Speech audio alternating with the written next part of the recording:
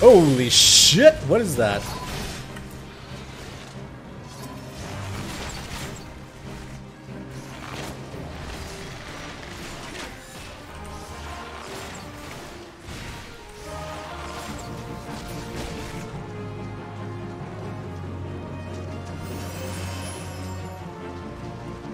It's been trebly troublesome indeed. Spanky Spankerson, man, the hero, the hero of uh, Eorzea.